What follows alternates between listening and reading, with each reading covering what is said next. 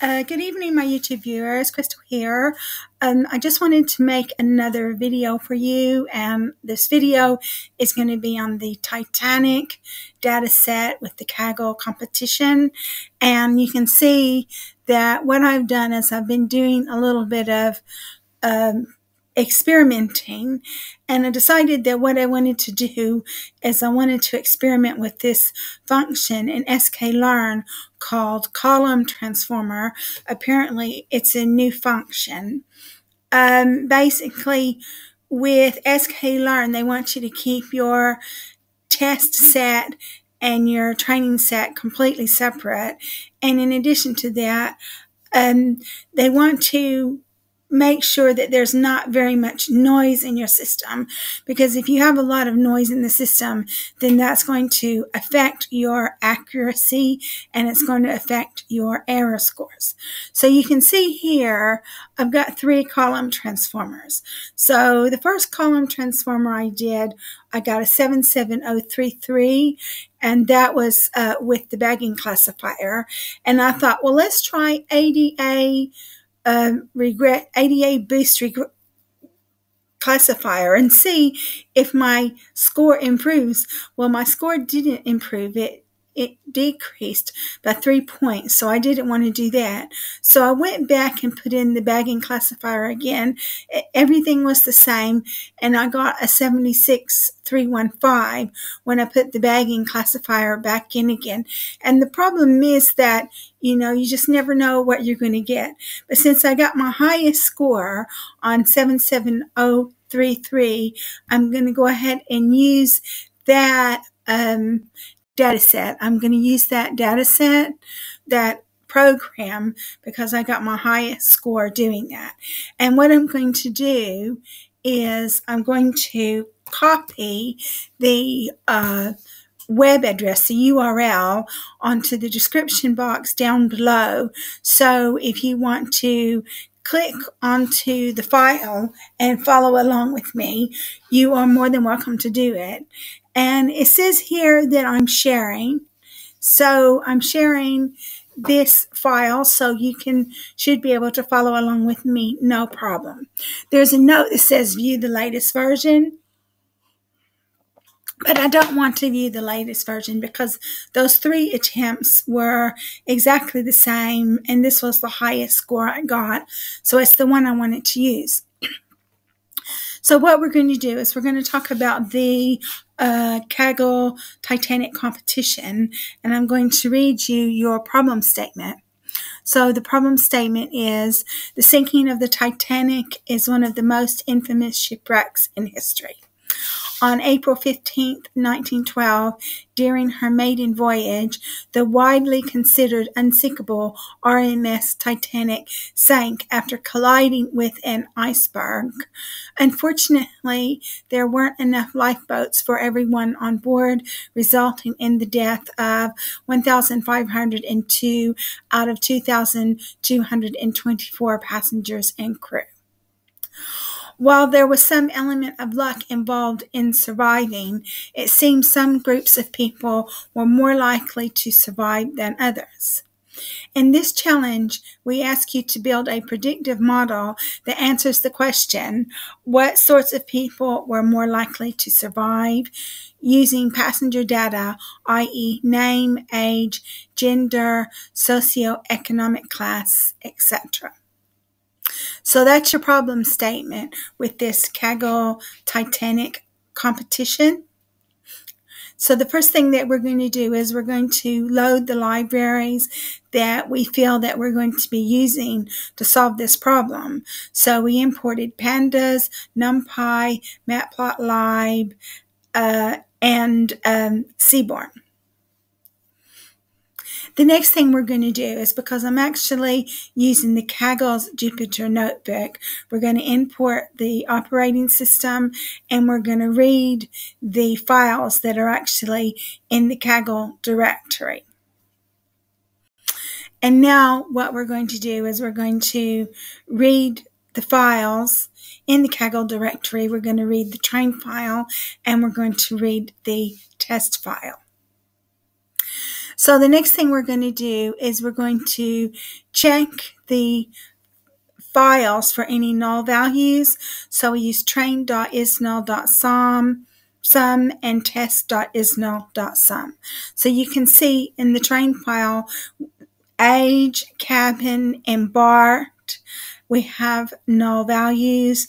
And in the test file, age, cabin, um, and fare, we have null values.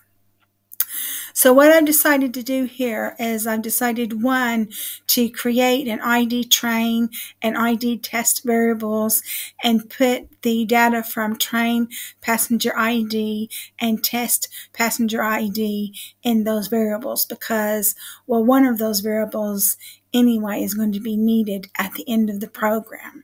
So that's why I had to do that.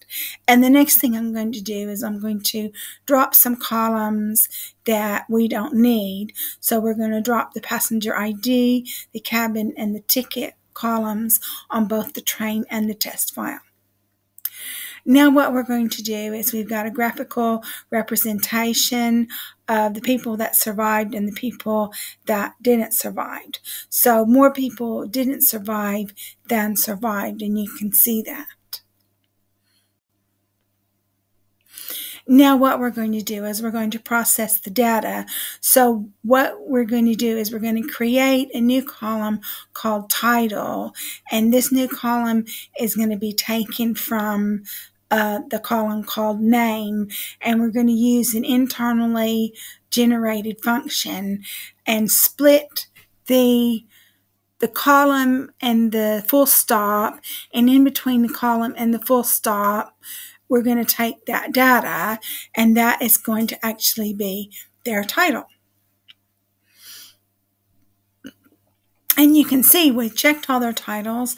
There are 17 titles Captain, Colonel, Don, Doctor, John here, Lady, Major, Master, Miss, Mademoiselle, Madame, Mr., Mrs., Ms., Rev, Sir, and the Countess. And there was also another one called Dona that for some reason it wasn't in there, but I found it quite by accident. And the reason why is because um, it, it just won't come out correctly if you don't have Dona. But I think probably the comma and the full stop weren't in the right place, and that's why they missed it out. And then what we did was we uh, created a dictionary called Title One, and we assigned a numeric value to all of these titles. And we mapped the title in the train set and the test set. And so now you can see these titles have been encoded. The next thing we did is we've created a column called family, and we created this column called family by adding train sib SP to train parch and test sib SP to test parch. So we've got this new column called family. So now you can see how many people we have in each family because SIB, SP, and PARCH relate to the family. And so we graphically represented that so you can see that zero was the highest. And that means that people who were driving, traveling on their own were uh, the highest number of people. Next thing we do is we check our fare. And we didn't have to. We probably could have deleted the fare, but anyway, it's in there. Now what we're going to do is we're going to identify numerical and categorical features and pre-process the data. And the reason why is because we are um, experimenting on column transformer because I wanted to see if if I use column transformer if it would increase my accuracy because that's what it's all about is increasing the accuracy. So when you're using column transformer, you are keeping your train file and your test file separate. And in addition to that, if you keep the train file and the test file separate, it's also supposed to reduce noise. And when you have really noisy data, then there's more um, room for error. So that's what this was all about using column transformer to try to improve my score. So the numeric features are age, fare, and family. Numeric transformer equals pipeline and steps are imputer that's a simple imputer strategy equals median and scaler that's your standard scaler now we check our categorical features, which are embarked, sex, P-class, and title.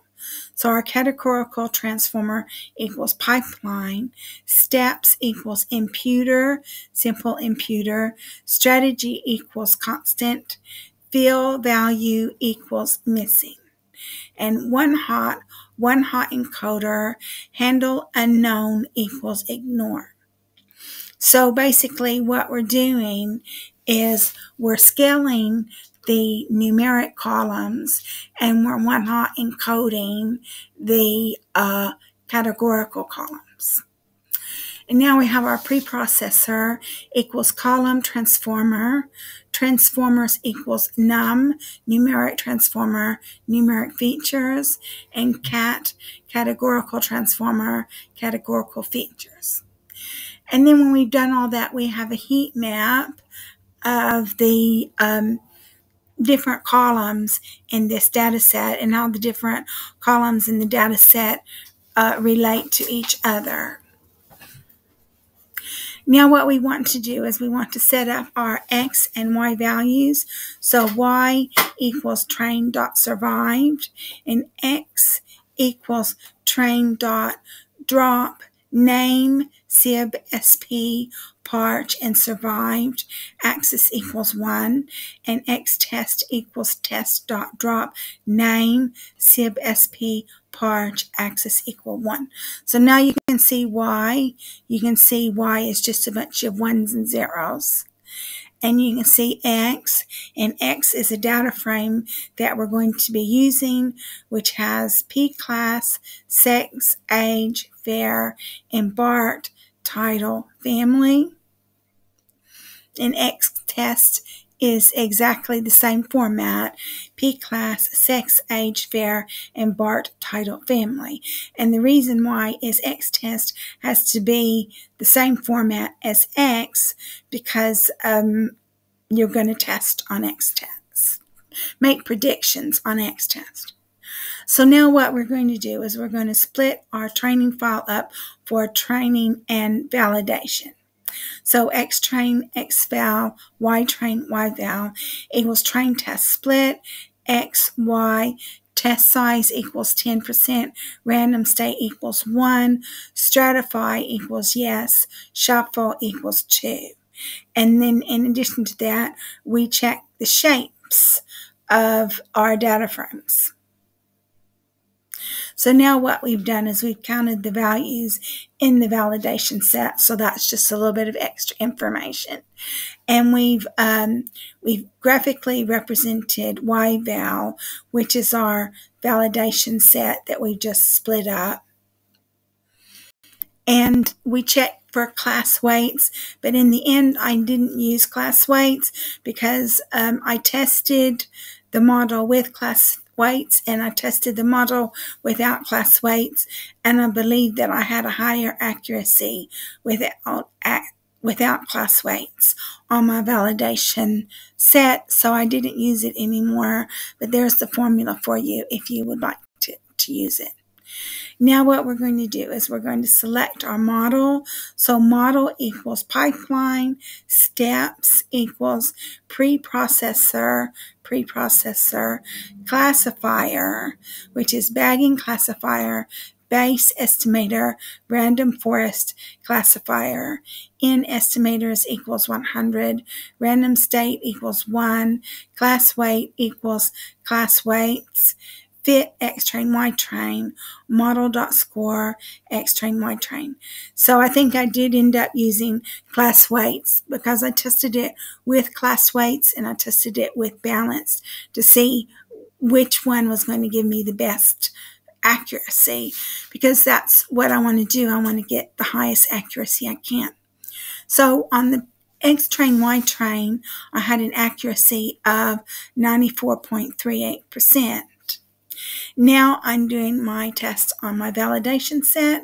YPRED equals model dot predict xval, and we want to predict print the model score xval y scale, and I got a 0.8. That was the highest I'd ever gotten, and I was just absolutely so pleased. And I thought, well, if I've got a 0.8, if this is the highest I've ever gotten, then surely when I test on the test set, it's going to be higher. Uh, that's what I thought. So we're going to count on our YPRED and you can see how many zeros and how many ones we have. And what I did was I made a little data frame so you can compare your actual values against your predicted values. So now what I've done is I've predicted on my test set, predictions equals model dot predict x test. And now what I've done is I've made a data frame. So the data frame that I've made is passenger ID is ID test, which I declared, where I defined at the very beginning of the program and survived is predictions. And then we output that to a CSV file and we've got a little message saying your submission was successfully saved. So now what we're going to do is we're going to submit our predictions. And um, so my submission equals PD read CSV, my submission. So you can see the submission right there. And so the, that's our predictions. And then so what we've done is you've got my submission and if I wanted to submit it, I could, but I don't want to waste a perfectly good submission. And the reason why is because with Kaggle, I only get 10 submissions a day. So I don't want to waste a submission if I don't have to, because I've already submitted on this and I got a 77.033 percentile, which is not as high as I would have liked for it to have been.